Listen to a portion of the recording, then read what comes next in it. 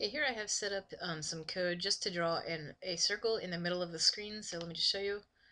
This is what it does. And what I would like to try to do is some collision detection. So I want to know when the mouse pointer is actually within the boundaries of this circle.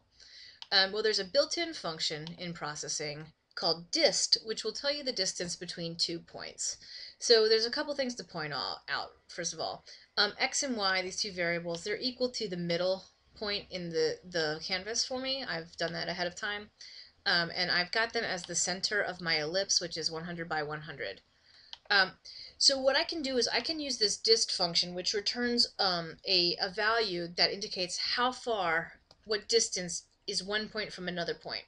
So I'm going to say, okay, if this guy um, is, the first point, the center of the circle, okay, and the second point, my mouse, x, mouse, y.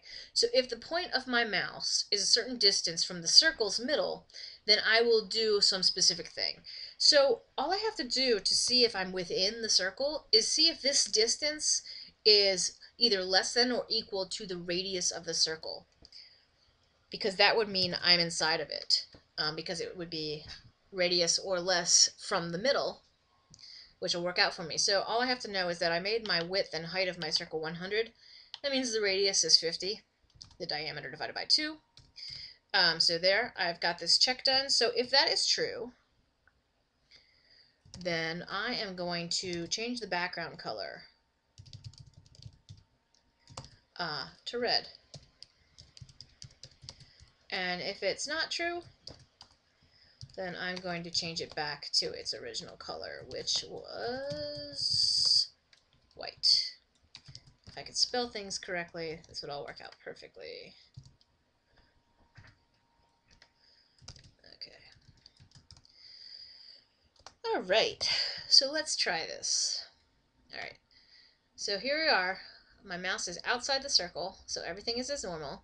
Now if I approach the circle, here I'm getting close to collision, now I'm colliding with it, so my background is red. Anywhere I am inside this circle, I'm still colliding because my distance is less than the distance from here in the center to the edge of the circle. When I finally get outside the circle, it goes back to the background of white. So, and that's true if I come in from any side. So that is how you do a simple collision detection. I can trigger anything to happen while it's colliding. I could combine this with a mouse clicked so that it only happens if my mouse is being pressed when it happens or something like that.